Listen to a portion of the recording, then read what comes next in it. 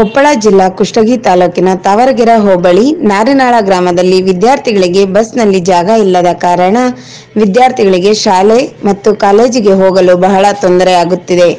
ಇದರಿಂದಾಗಿ ಗ್ರಾಮದ ಜನರಿಗೆ ಮತ್ತು ವಿದ್ಯಾರ್ಥಿಗಳಿಗೆ ಇನ್ನೊಂದು ಬಸ್ ಕಲ್ಪಿಸಿಕೊಡಬೇಕೆಂದು ಸಾರ್ವಜನಿಕರು ಮನವಿ ಮಾಡಿದ್ದಾರೆ.